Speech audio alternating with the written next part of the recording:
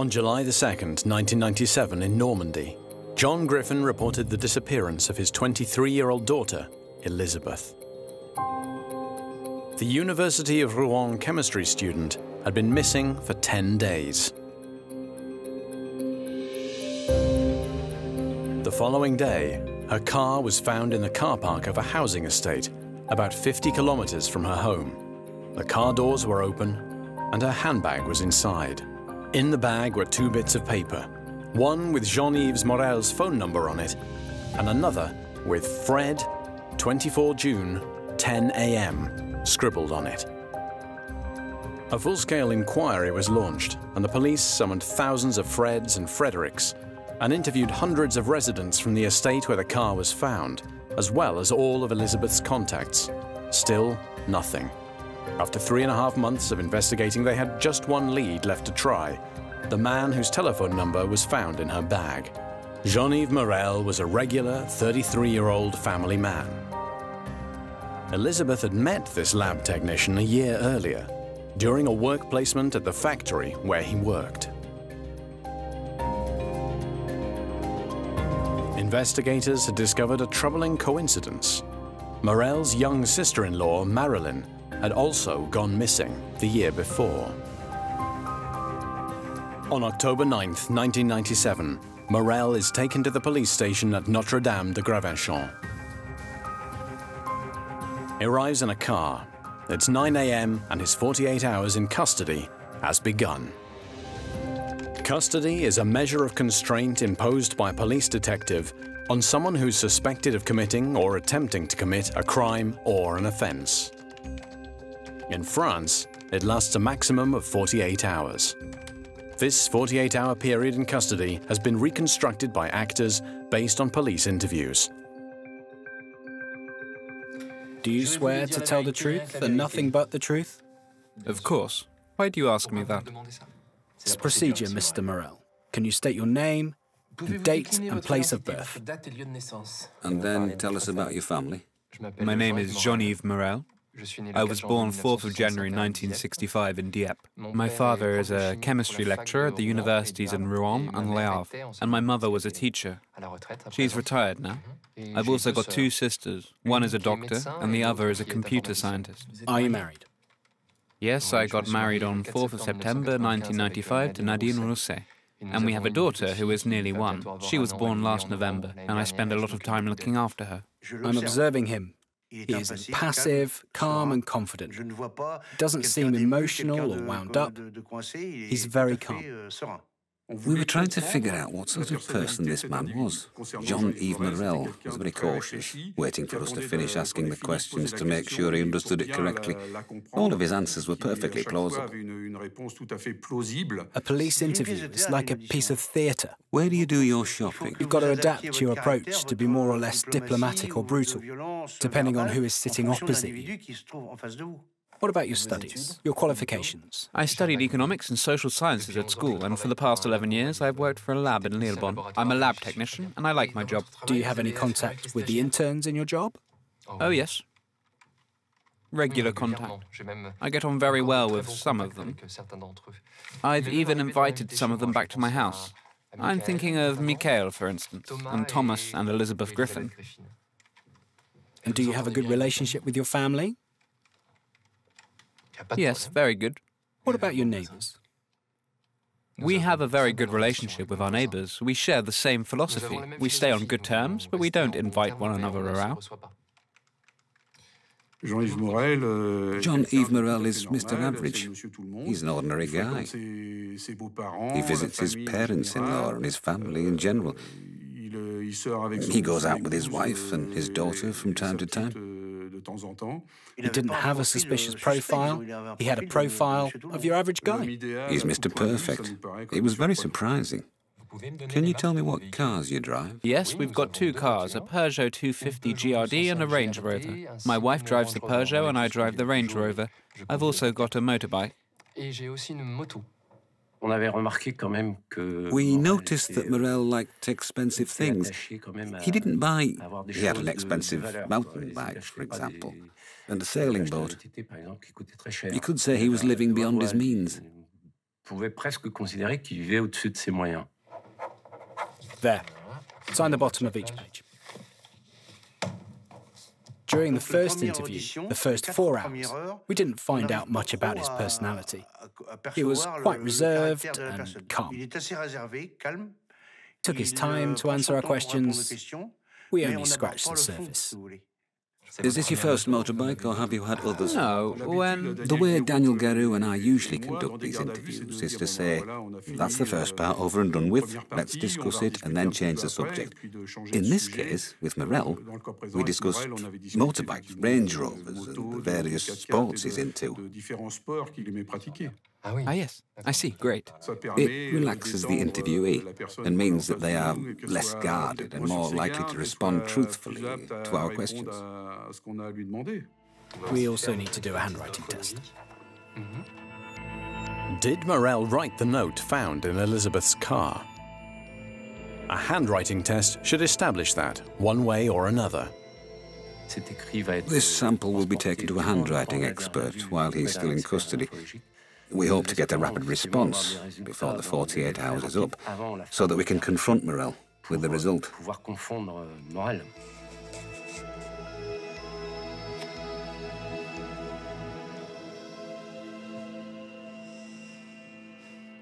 When and how did you find out that Elisabeth Griffin had gone missing?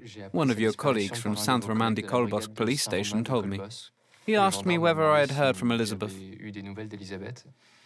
I was shocked to hear that she had gone missing. In my family, we've had to deal with the disappearance of my sister-in-law, so I know how Mr. Griffin feels. He must be suffering terribly. It's the not knowing that's the worst. The aim is to get him to talk. He's speaking unprompted now, telling us about Marilyn. He's trying to find out whether we've made the connection between the two cases. We let it come from him. Morel has been placed in custody because there have been not just one, but two disappearances among his circle of acquaintances, Elisabeth and also Marilyn one year earlier. Marilyn Rousset was Morel's wife's younger sister. She was only 17 when she vanished into thin air on April 5, 1996, after visiting the couple.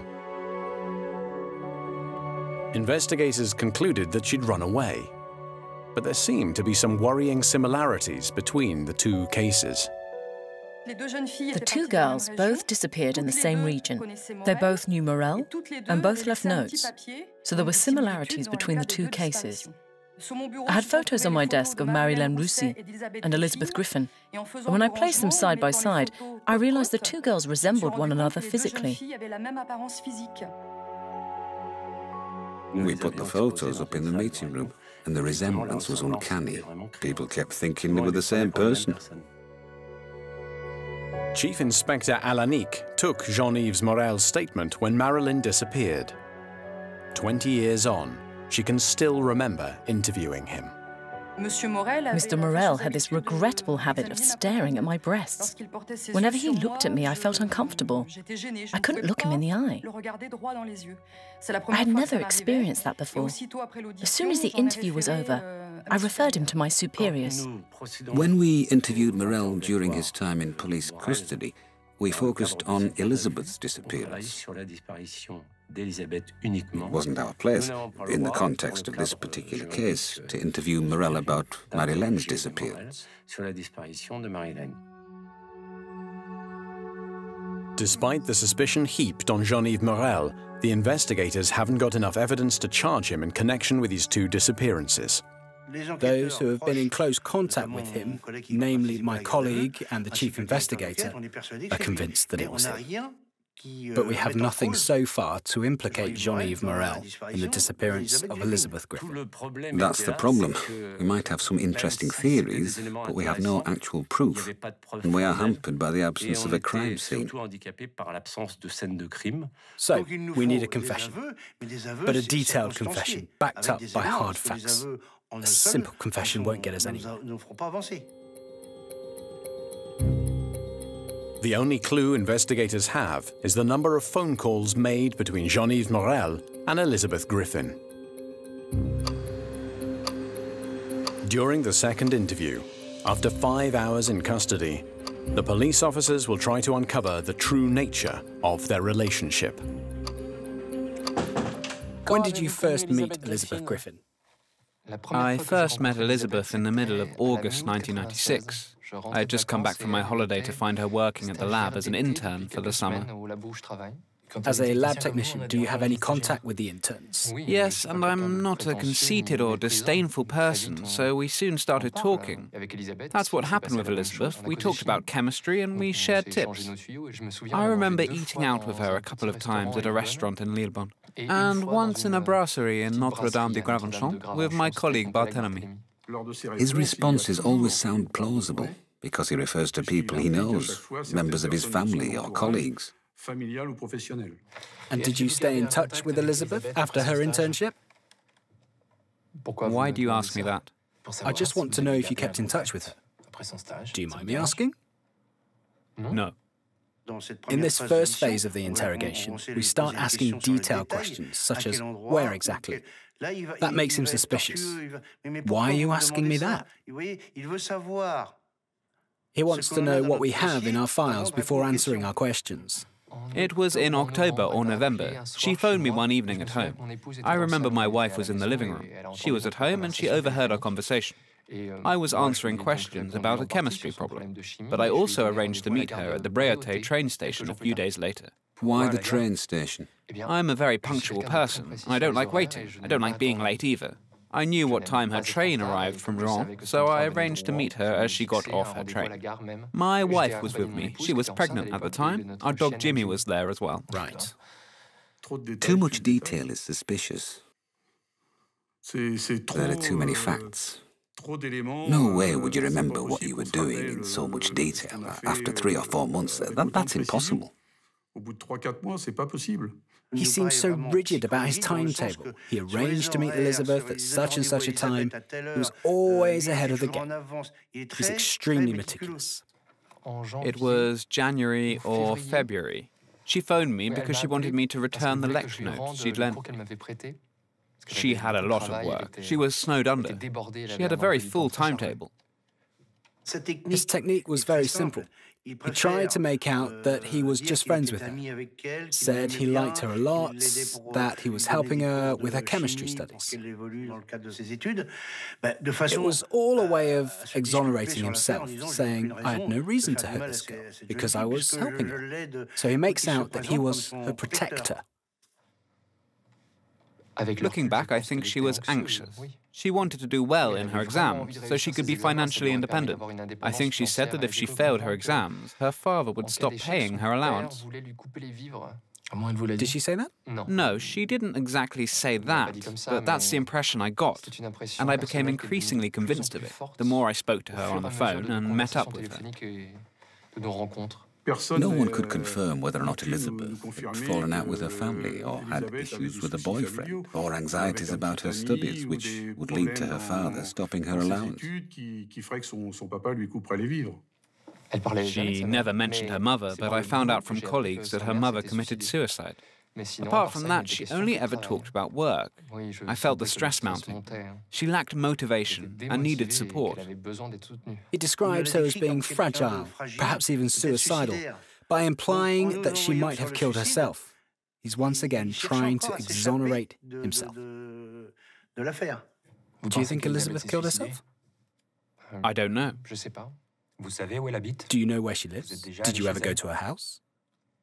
Yes, twice. I posted her lecture notes through her letterbox. The second time, I hand delivered them. That was in her studio flat in Rouen. She invited me in. We were wondering whether he had been at her home or whether their relationship had been purely professional. The investigators have lifted traces of unidentified DNA from Elisabeth's flat, for instance, from a bottle of orange juice. They're hoping it matches Morel's DNA. Unfortunately for the investigators, it turns out that the DNA results weren't a match for Morel. And further hopes were dashed when it transpired that the handwriting test results also came back negative. Euh, the handwriting expert didn't reckon that Morel had written the note that said, Fred, 24th of June, 10 a.m. Obviously, we were somewhat discouraged by the news. Searching Elisabeth Griffin's flat didn't help us to determine whether there was any sort of relationship between her and Jean-Yves Morel. Whenever he went to Rouen, he always had an excuse and a justification. But could it have been to go and see Elisabeth? Was it to stalk her? At the moment, we don't know.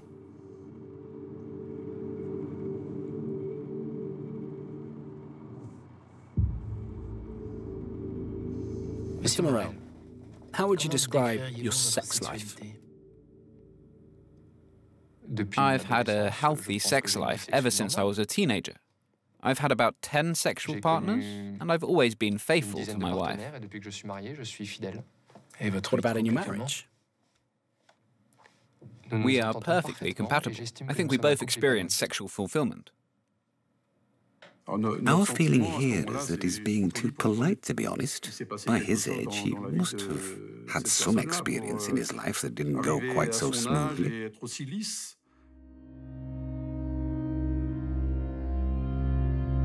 In the office next door, Jean-Yves Morel's wife, Nadine, is also being interviewed. She describes her husband as stay-at-home and their relationship as nothing out of the ordinary. Morel seems so well behaved. He has no criminal record, and his life appears to have gone without hitches. His marriage, exemplary. He didn't really come across as a potential criminal.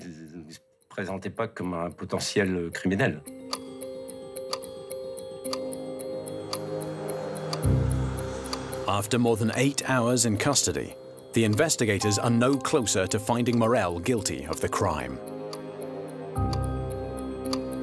In the next interview, they're going to focus their questions on the date Elisabeth went missing.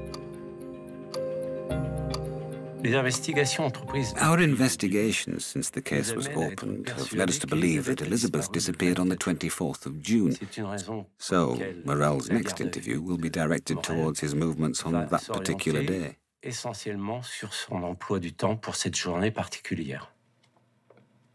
On June 24th, I got up at the same time as my wife, at 6.30 a.m., because I had a stomachache. I didn't feel well. I got dressed for work, but I didn't feel up to it, so I phoned the lab and told them I was afraid I wouldn't be coming in. Did you go out that morning?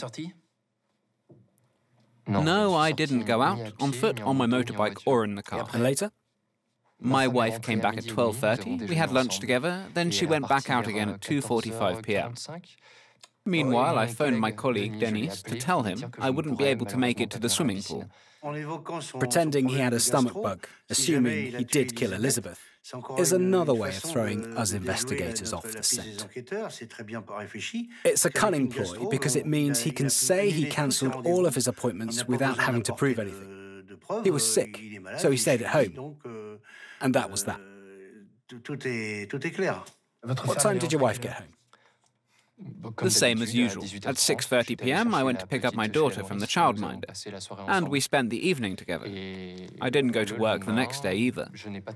Right. Euh, so apart from picking up your daughter, you didn't go out at all on the 24th or the 25th? No, definitely not. According to your bank statement, you wrote a cheque for 99 francs on the 24th to your barber in Lillebonne. So you must have gone out on the 24th, Mr. Morel, despite what you just said.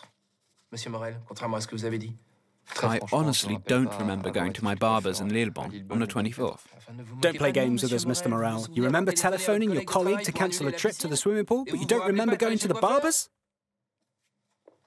He kept changing his version of events. You can see he's thinking it through, looking at us to see how we react. I said to him, Don't agonize over it, Mr. Morel. Just tell us exactly what you did. You're giving me a different version every time, Mr. Morel. Just tell us exactly what happened on the 24th of June. You can see that Morel's personality won't allow him to do that. There's no point in rushing him. Him raising his voice alarmed him. He's the sort to just clam up.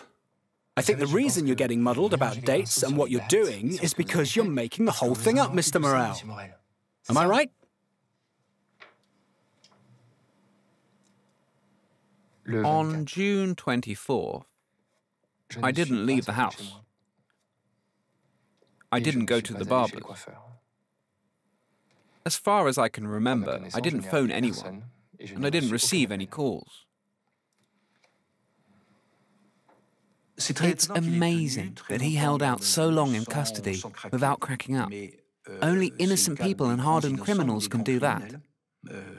Depending on their personality, hardened criminals can hold out for a very long time, as long as they are in control. All through the night, in a fourth and then a fifth interview, police detectives questioned the detainee unrelentingly about his movements on June the 24th. Despite a few inconsistencies, Morel stuck to his version of events. The next morning, after 23 hours in custody and having had no rest, police officers confronted Jean-Yves Morel with new evidence found during a search of his home.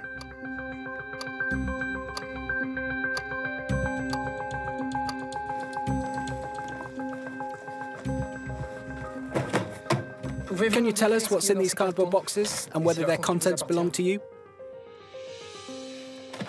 Yes, they are porn videos, and they belong to me. Those are my cassettes. Do you know how many there are? Nope, I've never counted them. There are 140 cassettes, three boxes full. If you say so. Do you know where we found them? Oh, I can hazard a guess. When we searched Morel's house, we discovered a locked door to the attic.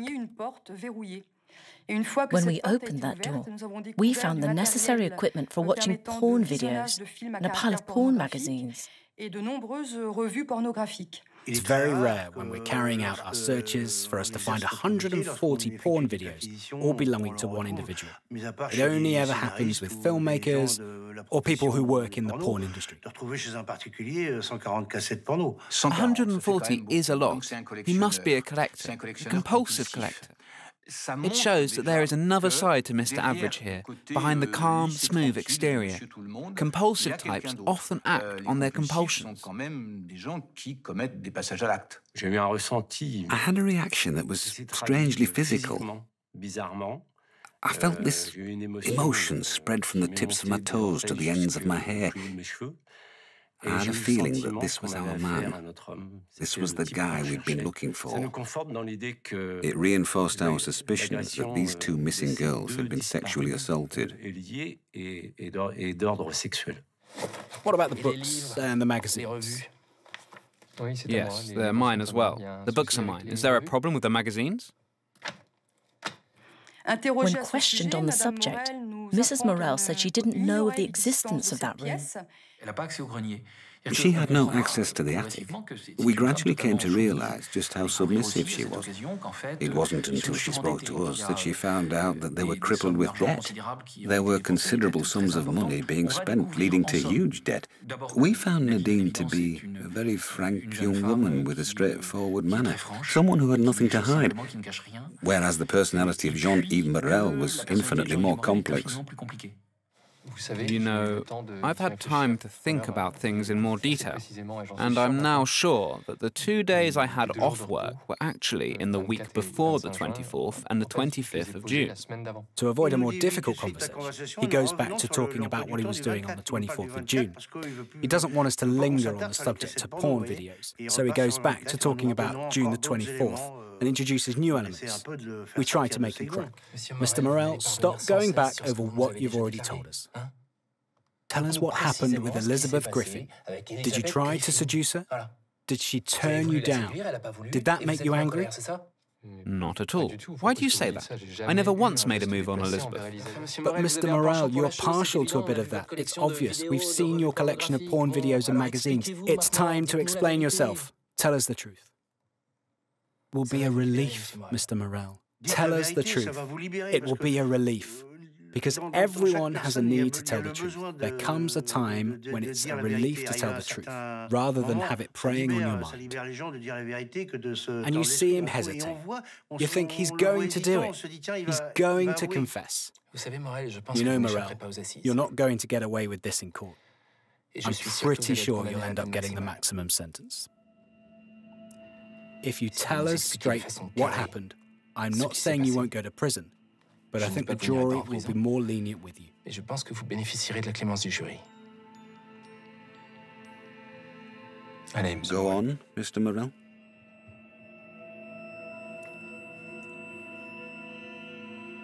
That's when he climbs up.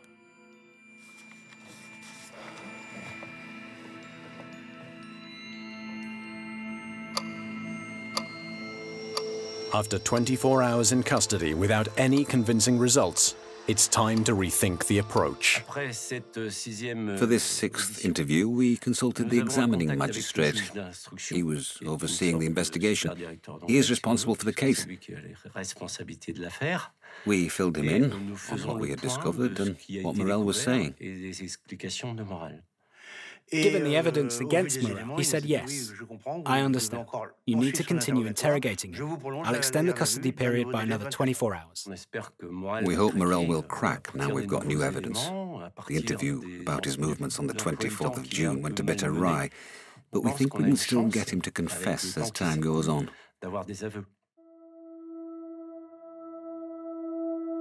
But the investigators don't interview Morel straight away they decide to place him in a cell. When we place him in the cell, we sense that he's pissed off. He's sorry. He's only dressed in his pants. So he feels vulnerable. But we think, let's see what five hours in a cell does for him. During this break, which will last until the morning, Lieutenant Frottière, the other chief investigator, observes Morel. I oh, stayed in the police station, kept an eye on him. He didn't sleep. He didn't take a moment to calm down and rest.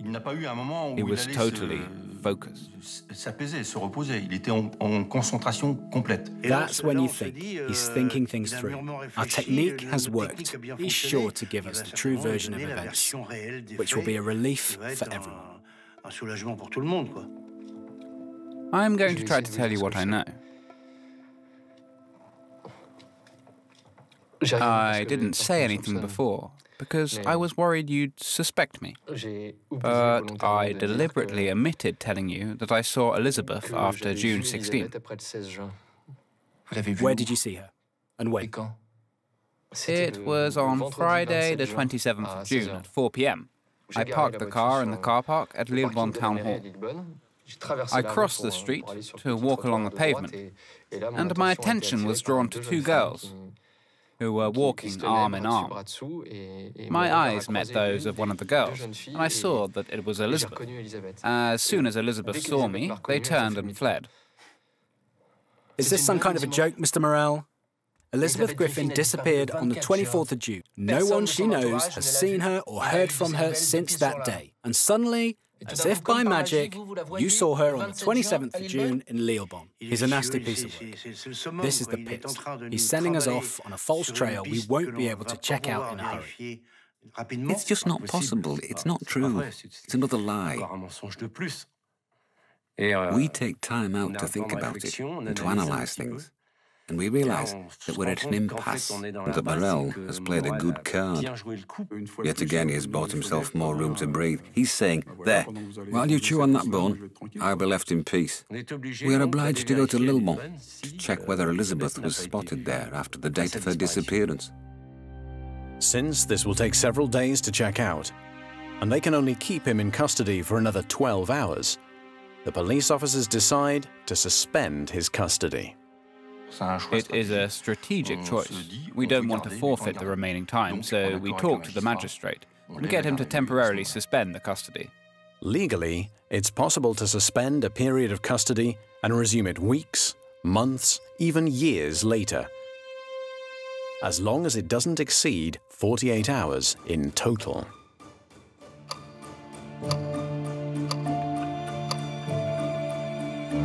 Early that evening, Jean-Yves Morel leaves the police station a free man. We saw him get into his Range Rover. He looked like a kid climbing into a toy car at the fairground. He was so happy to be leaving. We stood at the window and watched him drive off to his home. My colleague and I said to one another, he'll be back. He's won the first round.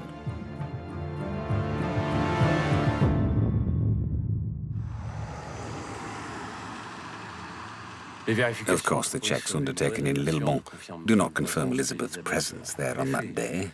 Unsurprisingly, we found no trace of her having been there after the day she went missing.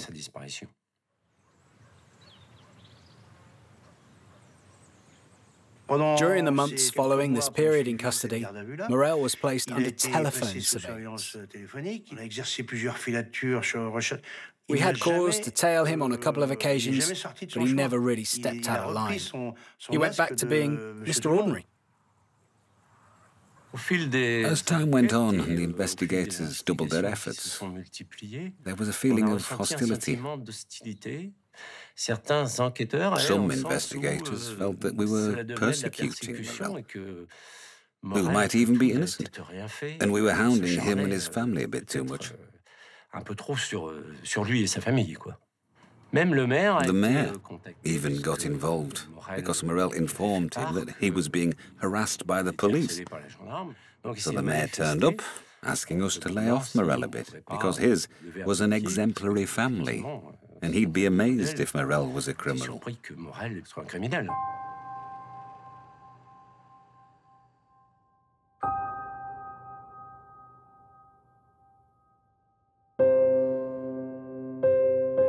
We didn't get discouraged because Elisabeth had almost become part of our family. She was a brave girl who had embraced life and made plans for the future. So much so that we never believed she'd just gone missing.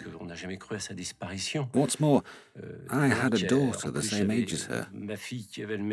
I think that provided a, an added motivation. supplémentaire, je pense. The police were increasingly convinced that they needed incontestable material evidence to catch Morel out. Without that, he would never crack. The best irrefutable proof would be the discovery of the victim's corpse. Bodies are difficult to hide. So far, no bodies have been found in the region or elsewhere that could belong to the victims. No bodies had washed up in the Seine or in the sea, which wasn't far away. We're convinced he must have had a hard time getting rid of the body because we've checked out his movements and he didn't have much time to play with. And we know for a fact that you need a fair bit of time to get rid of a body. We decided the easiest place would be his home. His property is quite big. It's a detached house with a garage and a bit of land. We concluded that the body was at Morel's home, on his land.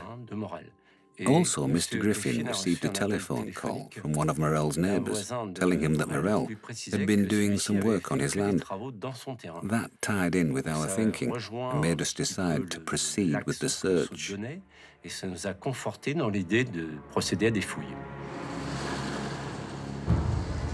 Ten months after Elisabeth went missing, in the early hours of April 28, 1998, the examining magistrate authorized a large number of police officers to turn up at Jean-Yves Morel's house.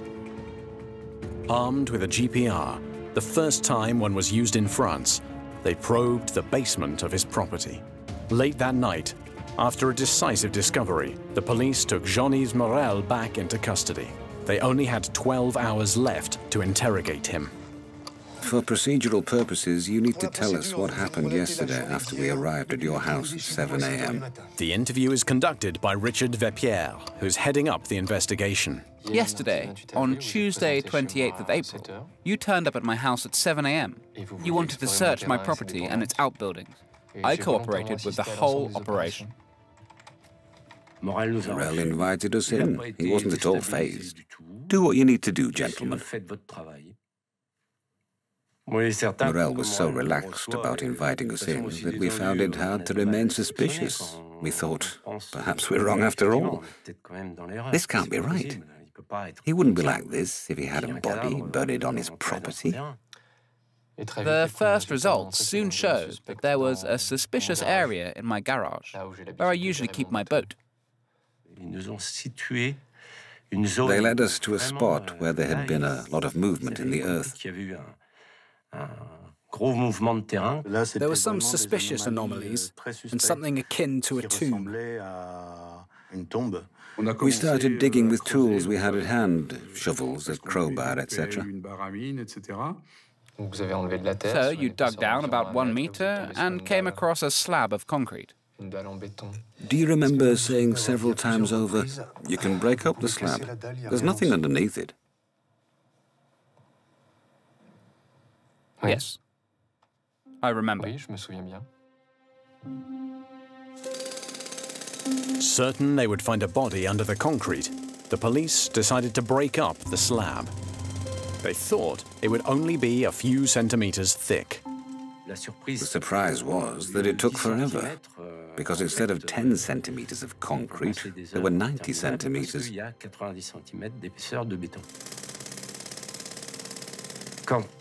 Once we'd destroyed the slab, we found what was essentially beaten earth. And we had a sense of total failure. We said to one another, I don't believe this. There was nothing there. At this point, Morel's attitude remained unchanged. He didn't say as much, but in his head, I think he must have been jubilant at the thought that we were going to have to stop. What is the psychological explanation of this aura of calm? It's because he's a pervert, and he's challenging the investigators to prove that he's guilty. He feels considerable satisfaction at seeing all of these people searching and digging and turning his house upside down. He's saying, I bet you won't find it. Et il dit chiche que vous trouverez pas. Euh, Look at me. Can you imagine a guy like me digging a hole this deep to bury a body? Euh, Surely not. Euh, this guy carried on digging up the earth and going through it with a fine tooth comb. Suddenly, the triangular corner of a black plastic bag appeared, the sort used by local farmers. Then one of my investigators jumped into the hole, and I followed suit. He took out a Stanley knife and cut the bag open. It gave off a foul smell, the sort investigators are used to encountering, unfortunately, whenever they uncover a body. It was awful. And that's when we realized that this was it. We had our corpse. You asked me, who is it? And I replied, it's Elisabeth. At that moment, or soon afterwards, we asked him, What about Marilyn? He said, No, Marilyn wasn't me. It happened on Tuesday, 24th of June, at about 11 a.m. Elisabeth turned up unannounced. She had come to complain because she still hadn't been offered an internship for the summer. He's less calm, but he's still lying. I told her that it takes time and said I'd make inquiries for her, but she didn't believe me. She said I hadn't tried hard enough to persuade them at the lab. She raised her voice, and then she said she didn't think my wife would be too pleased to find out that we'd been seeing one another so often. Morel is acknowledging the facts, but on his own terms, presenting himself more as a victim than a perpetrator en victime qu'en auteur. I tried to show her out, saying she was being unfair, but she pushed me, and I responded violently and hit her.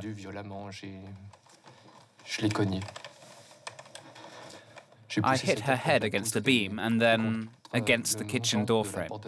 He's almost presenting it as if he was acting in self-defense.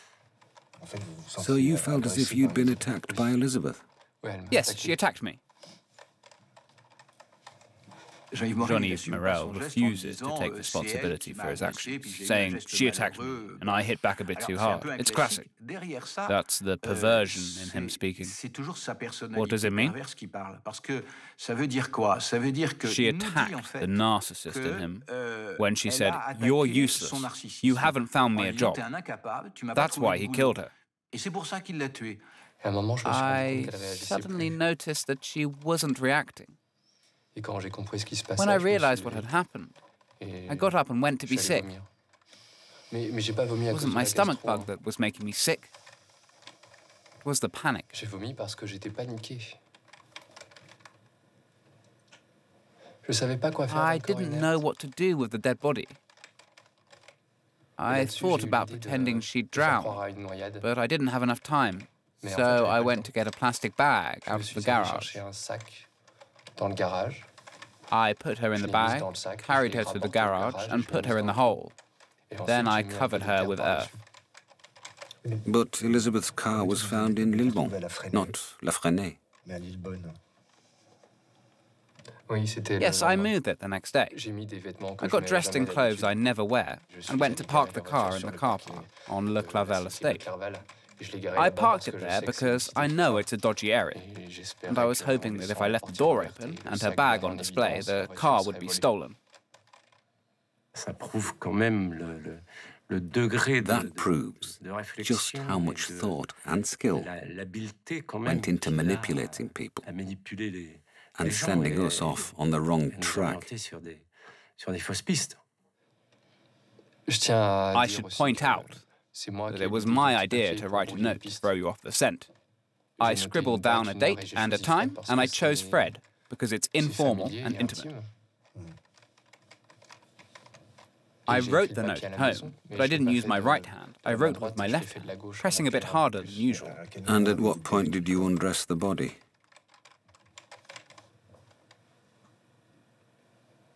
That was when I had the idea of staging a drowning.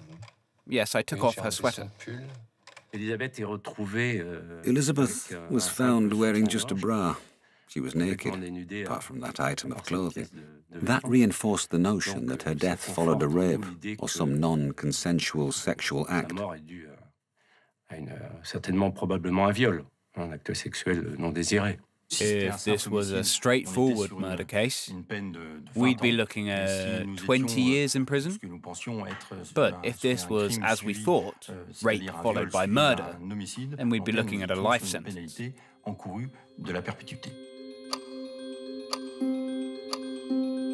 The clock is ticking. Morel has confessed to the murder, but convinced that he's also guilty of rape, Verpierre ramps up the pressure. He has very little time left to get a full confession. Mr. Morel, you're still lying to us. The more you lie, the worse it will be for you in court. Magistrates and juries don't like to be taken for fools. And the worst thing isn't the sentence they'll impose on you. It's that your family is going to turn its back on you. First your wife, and then your daughter. Next, I pressed him about his relationship with his sister and with his family. I spelled it out to him. I said, Morel, you have done something terrible. At least have the good sense to acknowledge what you have done. With your attitude, you're going to cut yourself off from everyone. You have no support network. You'll be entirely on your own.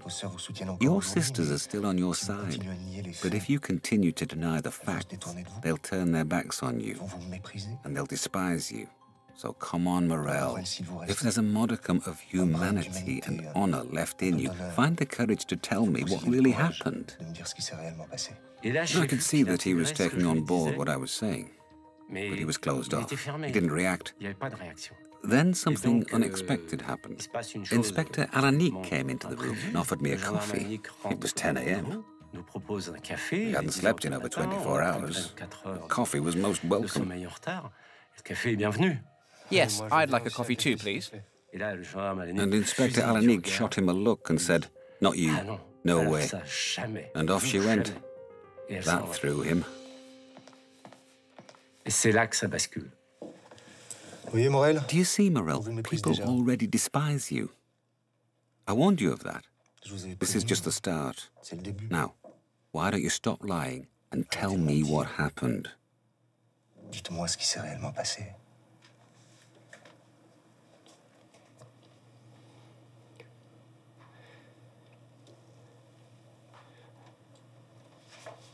I wanted to see her again. I asked her to come to my house at 11 a.m. And it didn't go well. I raped her. That's why she had no clothes on. What went wrong between you?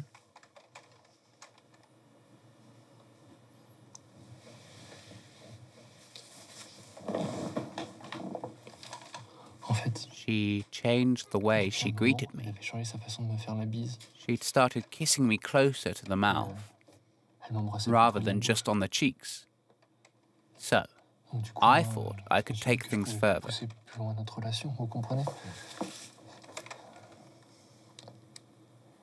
You see, after she'd been in the house for a while, I kissed her amorously. Once he goes into detail and admits what he did, I sense a sort of relief. I think there is a sort of osmosis between us. Communication is established where there was none before, and it feels different. His answers are less considered.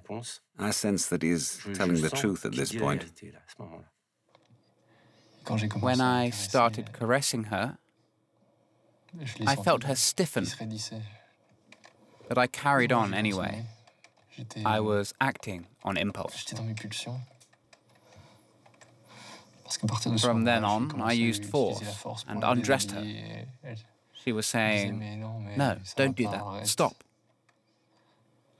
And I raped her. Did you have full sexual relations? Yes, but they were forced. She wanted to get up. She said she was going to tell my wife. She tried to leave, and I grabbed her and hit her the way I described. Boss? The interview came to a rather abrupt end. We'd have liked to have had more time, but we had to report what had happened to the examining magistrate, and he had the case referred straight away. Mr. Morel, we must inform you that we now have enough evidence to charge you. We are going to inform the examining magistrate that we are suspending this interview. Then we will start proceedings to hand you over to the deputy public prosecutor.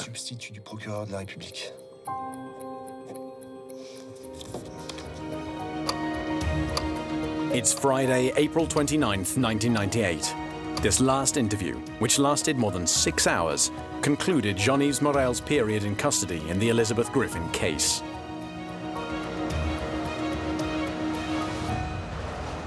Incarcerated in Rouen prison, Jean-Yves Morel attempted suicide that same weekend.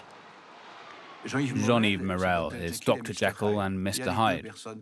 He is two people in one. The Jekyll side is the adapted side. It controls everything, up to a point.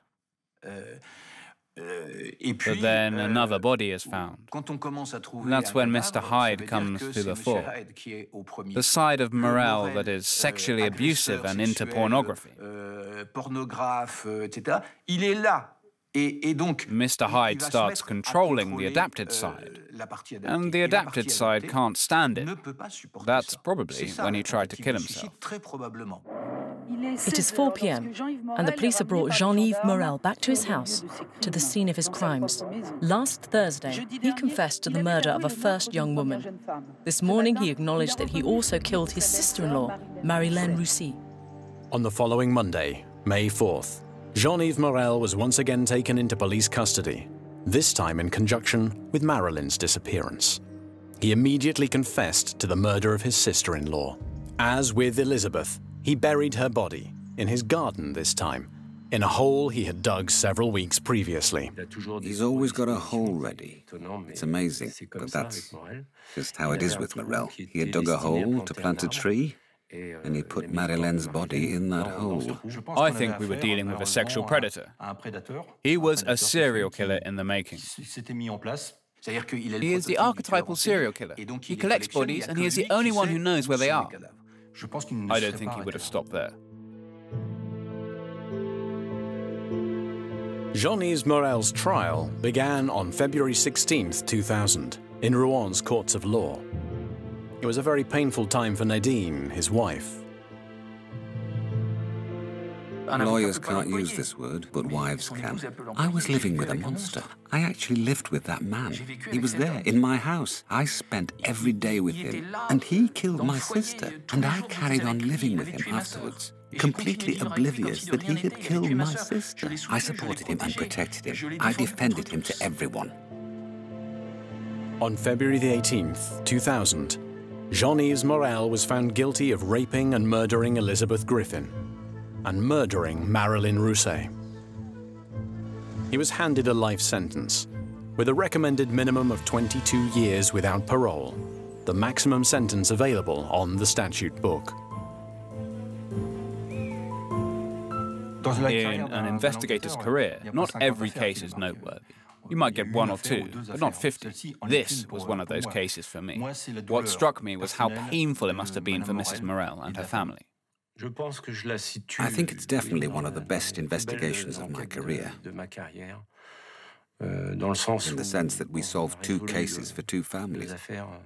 It was tragic, of course, but I think they were relieved to find out the truth, to be able to stop hoping in vain. I think we all learned to believe in what we were doing and to see things through to the bitter end.